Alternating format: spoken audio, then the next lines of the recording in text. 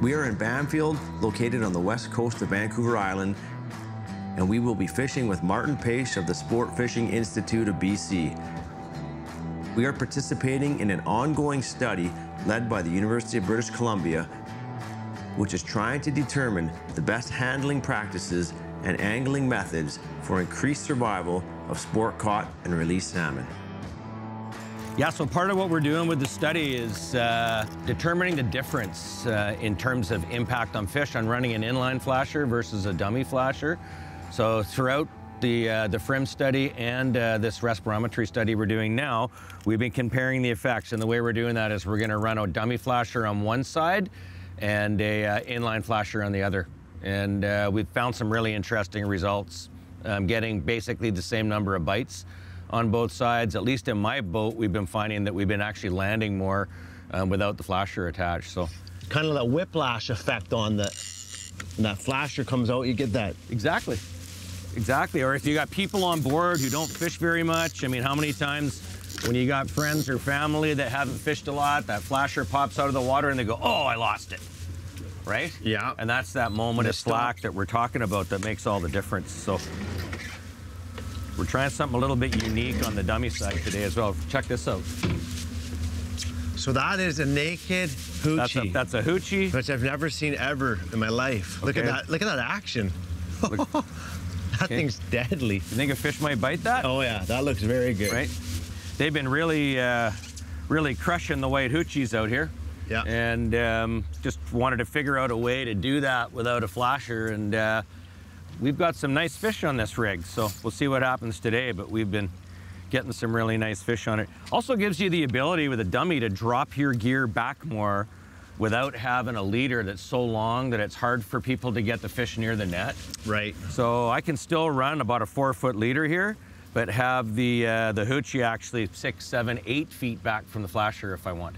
Right. Right? Yeah. And then clearer water, that sometimes makes a diff.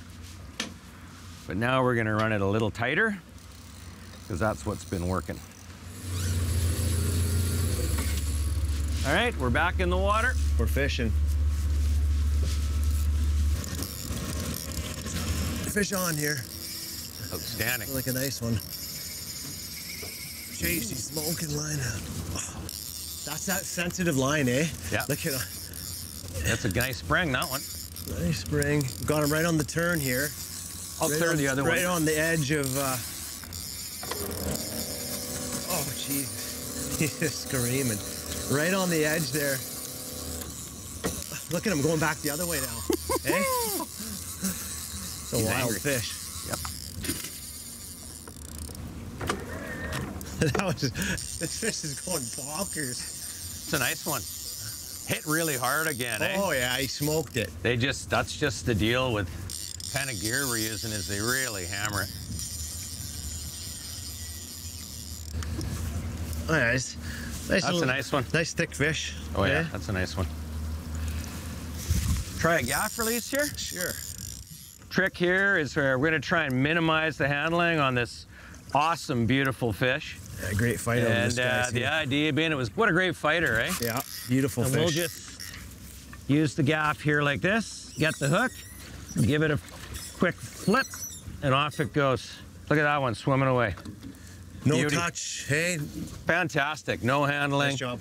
Awesome fish, man. That was a good fish. Let's get right back in that Nice. zone there. There's, there's a, it's happening. You figure? So basically, you're holding that leader down low, right? You're running your gaff down the line. Okay, it's gonna hook into the corner of the hook like this. Tension, pull it, both at the same time. Hand forward, gaff back, and that will release right out of the fish's mouth. Hey Martin, this is our second year joining you guys with the study here in Bamfield on uh, proper handling techniques, releasing techniques of, of fish. One of the things that we're finding from the study early on is, uh, well, not early on, but in the process of catching and releasing fish multiple different ways, is that one technique is kind of coming to the forefront as the best way to release a fish. That's absolutely true. It's the gaff release, and uh, the reason we're saying that, and uh, what we're finding is um, it's minimizing handling that makes the difference. So no right? touch of the fish. If you can get a, if you're not going to keep it, if you can release a fish cleanly without taking it out of the water, and just let it swim off, that is absolutely the best thing for that fish, gives it the best chance of survival. So that's where the gaff release comes in. Um, as we can see, you can, you know, you can leave the fish with its head in the water, can slide that gaff down, give it a little pull, hold it low on the leader, and uh, that fish is that hook pops out and it just swims away. Yeah, with that barbless hook and there's a little bit of tension, you know, pulling back and a quick little. Absolutely, hands down. What we've found is minimizing handling. Is There's the a most fish. important How was that for timing? You like that? Okay. Outstanding. Oh, he's just head shaking like mad. This braid is nuts, I was dude. just like, gonna say, I think I've lost him three times You already. got no, uh, you got no uh, sponge with braid, right? Every massive head shake, it's like, oh my god. Remember we Oh, said oh. that they, remember we said that they hit hard, Oh, peel line right off the rigger. That's exactly what happened. He's happened. 100 yards out on the surface back there. And it was 25 yards out before he could even get to the rod. I Oh, mean, they're just pounding this stuff. So what were we talking about before we got rudely interrupted here by this fish? Well, what we're going to try and do once you gain about 150 yards of line back is uh, if we can get this fish alongside the boat, we're going to uh, demonstrate how a gaff release works. So we're going to ensure that the fish is alongside the boat, boat's in gear. We're going to clear our downriggers and our release clips out of the way Yeah. so there's nothing for it to get tangled in. Then we're going to use the gaff, slide it down the line to get it at a pivot point on the hook. We'll give it a slight pull, and that hook should just pop right out. Right, all technique, right? Like it should come out super smooth. It will. And, uh, you know, it can be a little intimidating when people haven't done it, but obviously encourage you to do it. And it's, you know, it's going to be probably one of the main methods moving forward here of how to handle fish and release them properly. Absolutely. And you know, we talked about this a little bit earlier on in the study.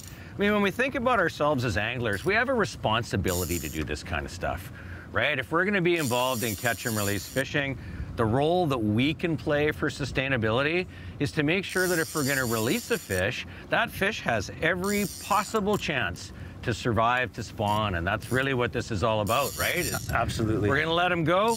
We might as well make sure that they're going to complete their journey, Yeah. make more salmon for the future. And that's really what this is all about. The way this thing hit and ran and is scrapping, we want that one to make more just like him. You know, or her. I want someone else to experience this, right? Like this fight's been incredible. It's amazing. You're still He- only halfway back. You know what? He's just he's just a stubborn fish. He's just Oh, yeah.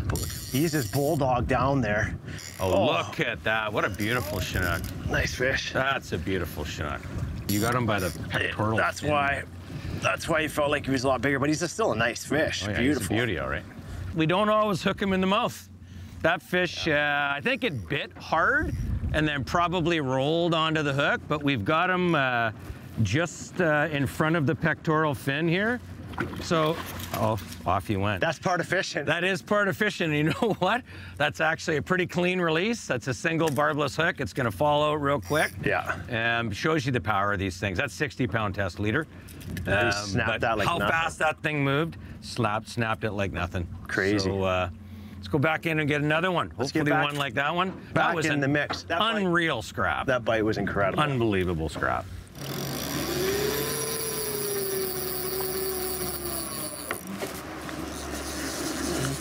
Martin's into one here. So what's going to happen is if we can get this fish in and get it in the net, um, is the other boat's going to come over and uh, they're going to pick it up. And then it's going to go into the respirometry tubes. I can tell that this fish is the right size. Uh, we don't want them for respirometry. They don't want them too big. Oh yeah, he's a nice fish. Beautiful fish. Chrome bullet. Nice job. Fish in, In the net, sweet. in the net. So you can see here, we, we're netting this fish obviously for this study, but look at the tail is actually sticking through the net. So you can see the damage that can be caused by netting a fish. You got it? Yeah, good. Yeah, that's, Sweet. you're- we're on the board. Stage one. That's a decent fish too. That is a nice fish. Look at that thing. Nothing wrong with that. So now what they're gonna do is take this fish back. On their way there, they're already putting it in a tube that is a respirometer tube. You can see how fast they're moving to get it in there. So that's our fourth fish for the day. So uh, we're done today for respirometry. Nice job on that fish. That's a beauty fish. That was a very, very nice Chinook. That was almost too big. That was a chrome bullet, that one. Okay. After fishing through the morning, we returned to the Bamfield Marine Science Center to see firsthand what the next steps were for a caught fish in the respirometry study. Okay, we're back at the dock now. We got a fish uh, that's been caught, and we're gonna we're gonna walk through the steps here of the process that you guys have been doing. Okay, so we caught it on the water, and then as quickly as we can, we put it in this tube. Yep. Uh, inside of here, we're measuring the oxygen consumption of the fish, kind of a proxy. You see athletes do it on TV, stuff like that. So we put in this tube, seal it up, and we get a measure of how quickly it's consuming oxygen. Um, we call that the maximum met- metabolic rate. Um, we measure it for about an hour after that. Um, then Quinn's going to take it out of the tube, get a blood sample an hour after the fishing event. Yeah. So like you mentioned, similar to an athlete who's you know wearing the face mask, doing VO2 testing Yeah. to see how hard this fish is working or exerting itself, and then measuring again after it's kind of come down from its peak exertion to see where it's at. Yeah, exactly. And so people know how long ago was this fish caught exactly? It was like Pretty well right on the hour. An hour. Yeah, we take it right when the fish is in the bag, the clock starts, and we got to get in the tube as Yeah. fast as we can. nice. And then Quinn will take a nice blood sample, just uh, one or two milliliters, keep it simple for the fish. Um, and we'll measure different types of metabolites, um, cortisol, lactate, stuff like that you would expect to go um, rise in a fish that just went through an angling event. Uh, we do a fin assessment here just to see how everything's holding together, if there's tearing of the fins, and kind of give it a scale across all seven fins. So probably a fish that's never been netted before, No. right? Not in our experience, no. We basically can't really see it on your side, but we have on this system a tube that we have our two sensors in. One does- temperature, one does oxygen. We cap a lid on here. It's actually just behind me. Nice big heavy duty lid that the, completes the seal. Um, and inside we have a pump that pumps the water through, creates a nice little bit of circulation for the fish, gives it a orientation type thing. So basically when we seal this tube, the fish is separate from all the water in the, uh, in the tote here. And so we're able to see the oxygen decline. Flush pumps kicks on and provides fresh bubbled water that brings oxygen right back up. So we can repeat that measurement over and over again for the hour here and then several hours on land.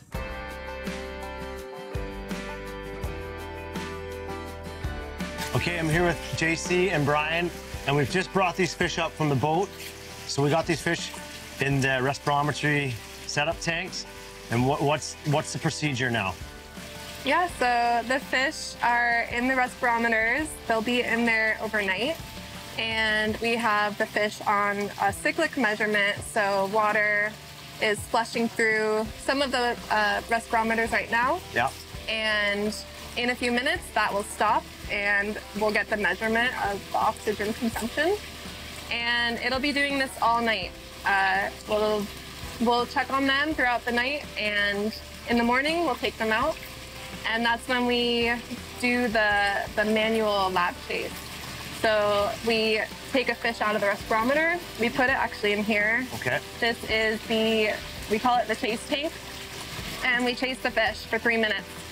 And it's supposed to mimic an, an angling event. And then we hold it in the air for a minute to also mimic an angling event. Yeah. And then we put it back in the respirometer and do an hour measurement just like on the boat. So once we move the, after we agitate the fish and move them back in here, and you were talking about doing a bunch of readings, what is that telling us or telling you guys? So it's a really good comparison. Uh, a lot of studies in the past have only looked at this component. They've only looked at that chase in the respirometer. And that is how we, we imagine, or that's what we believe is their maximum capacity. But now that we have the angling event to compare with the, that same individual, we're able to assess which event actually uh, gets them to their highest maximum metabolic rate. As we've been talking here, you may have noticed some of the pumps. This is just our flush water, kind of both an indicator, but as well as it isolates the chamber from the fresh water supply when it's sealed to measure our oxygen. Um, as we've been talking here, they've probably shut off or on a couple times like that. And so at the computer, right here, you can basically just see each of these plateaus is where the fish chamber was flushing, and we brought that to an highest oxygen level as we could for the fish. Then we seal the chamber or the flush pump shuts off, and you can see that oxygen decline, and that's where we're getting that the consumption of oxygen for each fish. Uh, we take it down a bit, uh, then after a set time interval, uh, the pump cues up again, brings that oxygen back up, and that's how we're getting each of those measurements for fish. Um, and then it's the slope of that line that's important um, to describe that oxygen uh, consumption rate or the maximum metabolic rate. And in this case, these fish are kind of chilling or recovering. So we're going to see that kind of dwindle overnight, and that slopes can be less and less steep for each fish as we progress throughout the day. They're like they're like athletes sitting in a cold tub right now, right? They're just they're this is their flush. Yeah, this is their recovery. for these guys, it's perfect. Nice chilled water, well oxygenated, and good uh, to go. I miss that part of of uh, playing sports.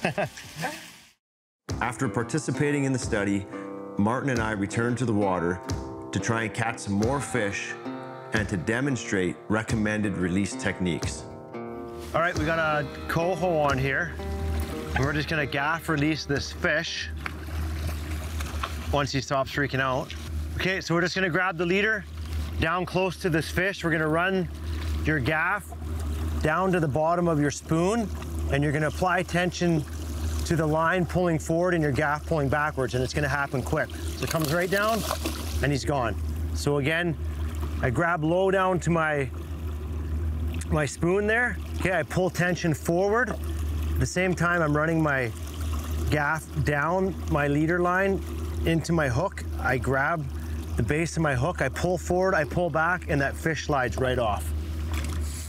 Oh, it's a proper one. It's a real fish. Martin, it's about time you showed up today. there we go. That's a nice one, eh? Oh, yeah. Yeah. The beauty. What an epic run. Yeah, it's angry. Ooh, there's that flasher popping out, eh? That Gotta love that about. Stuff.